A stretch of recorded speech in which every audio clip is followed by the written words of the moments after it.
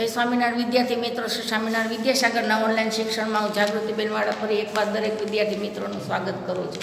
વિદ્યાર્થી મિત્રો, આના પહેલાં આપણે ધોરણ ચારમાં બાવીસમાં પ્રકરણમાં ભણી ગયા હતા કે પટોળા. પટોળા એટલે શું? પટોળું કઈ રીતે બનાવાય છે અને પટોળાની શું વિશેષતા છે? અને પટોળું બનાવવામાં શું શું વસ્તુ જોઈએ, કઈ રીતે બને, એ બધું જ આપણે ભણી ગયા હતા. આજે આપણે બાળકો ભણવાનું છે. આસપાસની અંદર પ્રકરણ ત્રેવીસ, જેનું નામ છે દેશ પરદેશ. હવે બાળકો, તમને યાદ છે આપણે પહેલા ધોરણમાં એક જોડકણું ગાતા હતા? યાદ છે કે ભૂલી ગયા છો? તો ચાલો, આપણે એક પહેલાં ગાઈએ જોડકણું.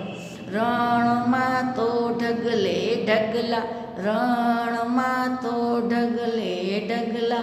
જ્યાં જુઓ ત્યાં જગ રેતી જ રેતી, જ્યાં જુઓ ત્યાં રેતી જ રેતી. ચારે બાજુ રેતી જ રેતી, ચારે બાજુ રેતી જ રેતી.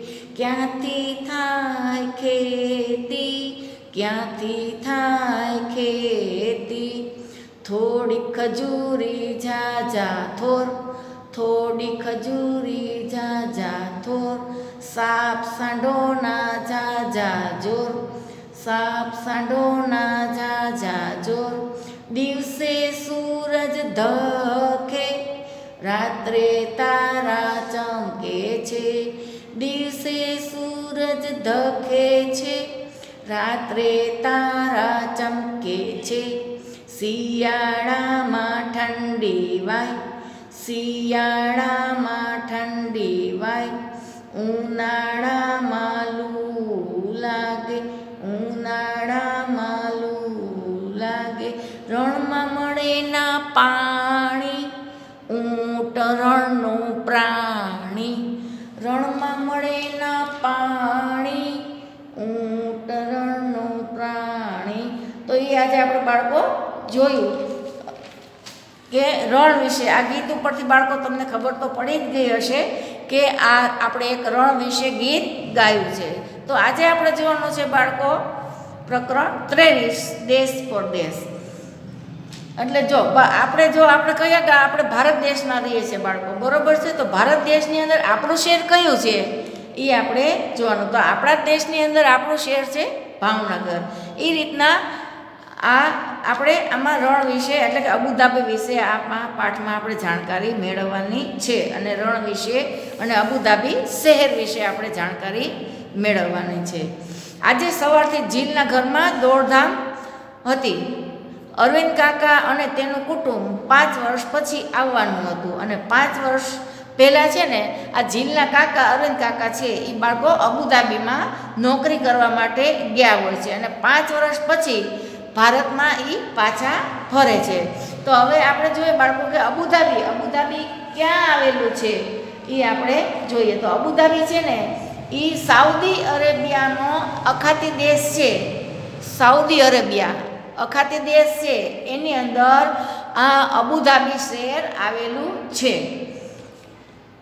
એટલે આ અબુધાબી શહેરમાં સાઉદી અરેબિયાના અબુધાબી શહેરની અંદર આ ઝીલના કાકા છે, એ પાંચ વર્ષ પહેલાં નોકરી કરવા માટે ગયા હોય છે. અને પછી પાંચ વર્ષે પાછા ભારત ફરવાના હોય છે. અને વિમાન મથકે પાછા આવવાના હોય છે. એટલે ઝીલ અને ઝીલના પપ્પા અરવિંદ કાકાને અને એના કુટુંબને લેવા માટે વિમાન મથકે જાય છે. વિમાન તો હવામાં ખૂબ જ ઝડપથી ઉડે. જમીન ઉપર ઉતરી ગયું, વિમાન આવ્યું અને મુસાફરોએ જો આપણે વિમાનમાંથી ઉતર્યા પછી આપણે સામાન લેવો હોય ને બાળકો, તો થોડીક રાહ જોવી પડે.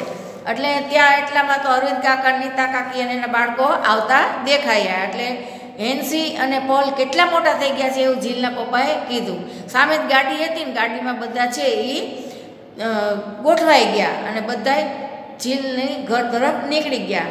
હવે ઝીલે હેન્સીને કીધું કે તું તો લાંબી મુસાફરી કરી અને થાકી ગઈશ કાં? પપ્પા કહેતા હશે કે અબુધાબી શહેર છે એ આપણા ભારતથી ખૂબ જ દૂર છે. તો જો અબુધાબી છે એટલે એ આપણે જોયું અત્યારે કે અબુધાબી શહેર છે એ ક્યાં આવેલું છે?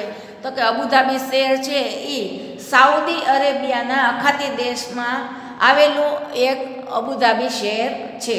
અને ત્યાં આપણે છે તે વિમાન મથકે થી જઈ શકાય છે. વિમાન મથકે જ આપણે જઈ શકાય છે. અને એનું અંતર આપણે અમદાવાદથી ગણીએ તો લગભગ બે હજાર કિલોમીટર જેટલું દૂર છે. બે હજાર કિલોમીટર દૂર છે અબુધાબી. ભારતથી એટલું દૂર છે. પણ વિમાન માર્ગે જો આપણે આવીએ બાળકો, તો માત્ર બેથી અઢી જ કલાક થાય છે. શું કામ બેથી અઢી કલાક થાય છે? કારણ કે વિમાન છે એ ઝડપથી ઉડી શકે છે. એટલા માટે. એટલે ઝીલ તો આશ્ચર્યમાં પડી ગયા છે ઝીલ છે એ આશ્ચર્યમાં પડી ગઈ કે જ્યારે અમે શાળામાં ભણતા અને દિલ્હી પ્રવાસે ગયા હતા, ત્યારે તો આમ કે અમને વીસેક કલાક લાગ્યા હતા.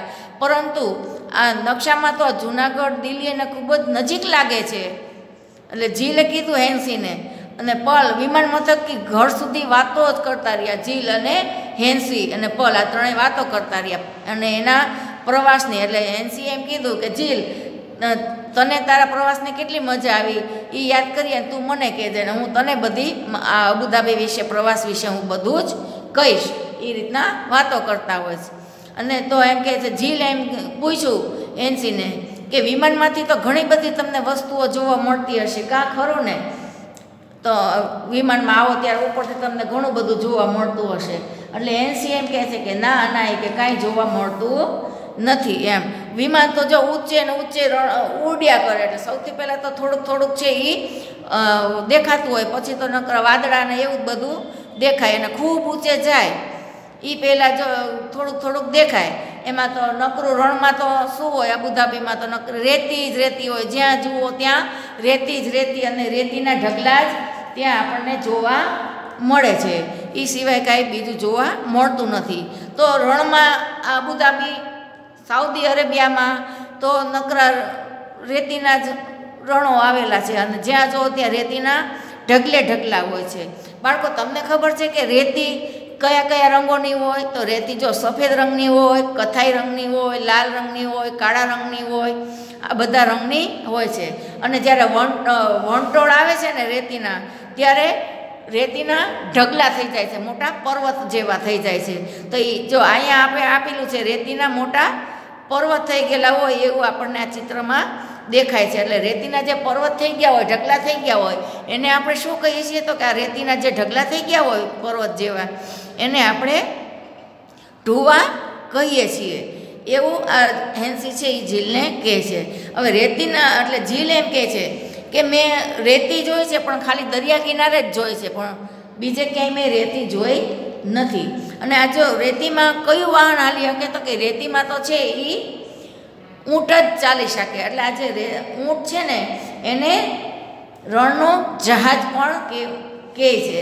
ઊંટને રણનું જહાજ જ કહે છે.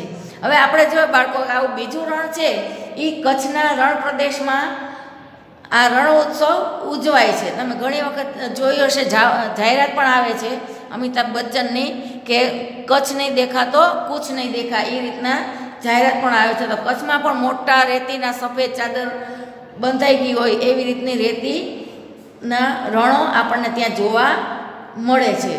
અને આવા જો રેતીના રણો આપણે જોવા હોય ને, તો રાજસ્થાનની અંદર જેસલમેરમાં પણ આ રીતનું રણ આવેલા છે.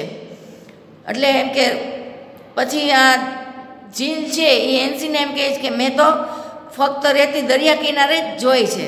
તો અરવિંદ કાકા છે એ જેન્સીને ઝીલને કહે છે કે તો તારે એકવાર સાઉથ અબુધાબી શહેરમાં છે તે આવવું પડે. એટલે પછી અબુધાબીની આજુબાજુના દે રણ પ્રદેશો આવેલા છે. અને એ છે એ શહેરથી થોડાક દૂર અને બહુ દૂર સુધી થોડાક આવેલા છે.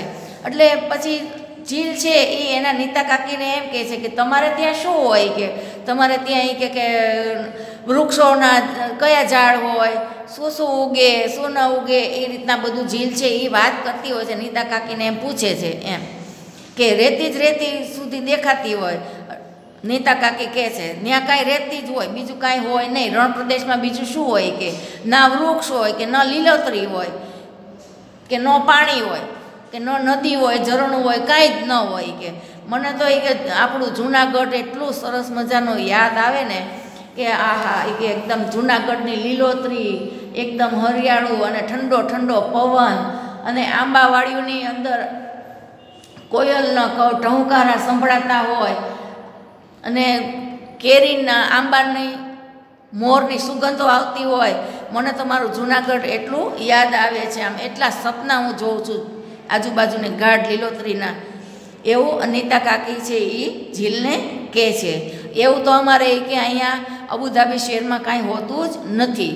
નથી કાંઈ લીલોતરી કે નહીં કાંઈ ઠંડો પવન કે નહીં એકે જાતના વૃક્ષ કે નહીં કાંઈ નદી, તળાવ, ઝરણો એવું કાંઈ જ હોતું નથી. જો રણમાં મિત્રો છે, બાળ મિત્રો, કે રણમાં તો એકલી રેતી જ હોય છે, એટલે ત્યાં ઠંડો પવન લાગતો નથી અને રણમાં તો ગરમ ગરમ રેતી જ ને ગરમ ગરમ લૂ જ આપણને વાય છે. એટલે કે ગર, ગરમી વધારે પડે છે ત્યાં આબુધાબીમાં રેતીના રણોના હિસાબે. અને લીલોતરી તો ત્યાં કાંઈ હોતી નથી. એકે જાતના વૃક્ષો ત્યાં થતા નથી. ત્યાં તો ખાલી ફક્ત ખજૂરીના જ વૃક્ષો છે. તે આ અરબી, સાઉદી અરેબિયામાં થાય છે ખજૂરી. ખજૂરીના જ વૃક્ષો થાય છે અને હાથલા થોર આ બે વસ્તુ ત્યાં થાય છે. જો બાળકો, ખજૂરી ખજૂરી તો તમે, ખજૂર તો તમે જોયો જ હશે. તો જાતે ભાગે આપણા જે ભારત દેશમાં છે એ આ ખજૂર છે એ સાઉદી અરેબિયાથી આવે છે. પણ અત્યારે હાલમાં આપણે જોઈએ તો આપણા ગુજરાતના જે ખેડૂતો છે, પ્રગતિશીલ ખેડૂતો, એણે પણ કચ્છની અંદર આ ખારેક એટલે કે ખજૂર વાવી અને ખેતીને ખજૂરનું ઉત્પાદન કર્યું છે, ખજૂર વાવીને. જેમ કે આપણા જે ખારેક ખાઈએ છીએ અત્યારે, એ બધું એવી રીતના ખારેક છે, ખજૂરમાં સુકાઈ જાય એટલે એની ખારેક બને છે. એટલે ગુજરાતના જે ઘણા બધા પ્રગતિશીલ ખેડૂતો છે, એણે પણ આવો પ્રયોગ કર્યો છે ખજૂર વાવવાનો કચ્છની અંદર. બીજું એ કે રણ પ્રદેશની અંદર છે તે વરસાદ હોતો નથી. વૃક્ષો ઉગતા નથી, કારણ કે વરસાદ હોતો નથી. રણ પ્રદેશમાં છે એટલે કે અબુધાબીમાં આ રીત વરસાદ તો પડતો જ નથી. એટલે એકે જાતના વૃક્ષ ત્યાં થતા નથી. જ્યારે આપણે તો અહીંયા કેટલા સરસ મજાની લીલોતરી હોય, નતનવા ફળ હોય, ફળોના વૃક્ષો હોય, લીમડો, પીપળો, નકરી લીલોતરી લીલોતરી. એટલે નીતા કાકી છે, એ જીલને એમ કહે છે કે અહીંયા તો એવું કાંઈ જ હોતું નહીં. પણ આપણે તો એમ, મને તો જુનાગઢ એટલું યાદ આવે ને આપણું એમ કે ગાઢ લીલોતરી ઠંડો ઠંડો પવન અને આમ આંબાવાડીની અંદર, આંબાની અંદર મોર આંબાના મોરની સુગંધ, કોયલના મીઠા ટવકા આ બધું છે એ નીતા કાકી એને કહે છે કે આપણા ગુજરાતમાં તો આ ગાઢ જંગલો અને બધા વૃક્ષો અને આ બધું હું સપના જ એના જોયા કરતી હોઉં છું. આ બધુંય મને જોઈ અને ખૂબ જ હું ખુશ થાઉં છું યાર પણ ત્યાં વરસાદ કાંઈ આવતો નથી. એટલા માટે ત્યાં કાંઈ લીલોતરી થતી નથી. ફક્ત ખજૂર જ થાય છે. એટલે ખજૂરે પણ જો બાળકો તમે કદાચ જોયો હશે, ખજૂરે તે જો લાલ હોય, કાળો હોય, આ બધો ખજૂર છે. અત્યારે તો જો હોળી આવી રહી છે એટલે બજારમાં તમે ખજૂર જોવા મળશે. એટલે આપણે જો ઓરિજિનલ ખજૂર ખાવો હોય તો આપણે સાઉથ અરેબિયાથી જ મંગાવવો પડે. પણ અત્યારે આપણે હાલમાં ગુજરાતના જે ખેડૂતો છે એણે પણ કચ્છની અંદર રણોમાં ખજૂર વાવવાના સફળ થયા છે એટલે કે આ જે ખારેકનું ઝાડ વાવે, એમાંથી એ રીતનું થઈ શકે. એટલે જાજે પાકે ખજૂર છે એ આપણે સાઉદી અરેબિયાથી આવે છે. અને બીજું જોઈએ વરસાદ, તો વરસાદ તો ત્યાં પડતો જ નથી સાઉદી અરેબિયામાં અબુ અબુધાબીમાં. વરસાદ તો બિલકુલ પડતો નથી. બાળકો, આપણે તો અહીંયા વરસાદ પડે છે અને પાણી જોઈએ એટલું આપણને મળી શકે છે. એટલે રણ પ્રદેશમાં શું છે કે વરસાદમાં પડતો નથી ને એટલે ત્યાં પાણીની કિંમત ખૂબ છે બાળકો. અબુધાબી શહેરમાં, એટલે કે સાઉદી અરેબિયાની અંદર, અબુધાબીમાં ત્યાં રણ પ્રદેશ વધારે છે, એટલે ત્યાં વરસાદ તો બિલકુલ પડતો જ નથી. એટલે ત્યાં પાણીની કિંમત ખૂબ જ છે. એટલે અહીંયા નથી વરસાદ આવતો, નથી નદીઓ હોતી, ન તળાવો હોતા કે નથી પાણીના ખાબોચિયા ભરેલા હોતા. જમીનની અંદર પણ પાણી હોતું નથી. એટલે ભલે, જો એ લોકો આપણે તો કેમ અહીંયા જમીનની અંદર પાણી ખાડો કરીએ ને કૂવો કરીએ, તો આપણે પાણી નીકળે છે. એ રીતના ત્યાં છે ને બાળકો, સાઉદી અરેબિયાની અંદર જો જમીનની અંદર કૂવો ખોદે તો એની અંદરથી તેલ નીકળે છે, ખનિજ તેલ, કે જેને આપણે અત્યારે પેટ્રોલ, ડીઝલ એ બધું આપણને એમાંથી મળે છે. પેટ્રોલ મળે, ડીઝલ મળે, કેરોસીન, આ બધું એની અંદરથી ખનિજ તેલમાંથી, ખનિજ તત્વો મળે છે ને, એમાંથી આ બધું બને છે. એટલે આ સા, સાઉદી અરેબિયામાં અબુધાબીની અંદર છે તે પાણી ખૂબ જ મોંઘું હોય છે.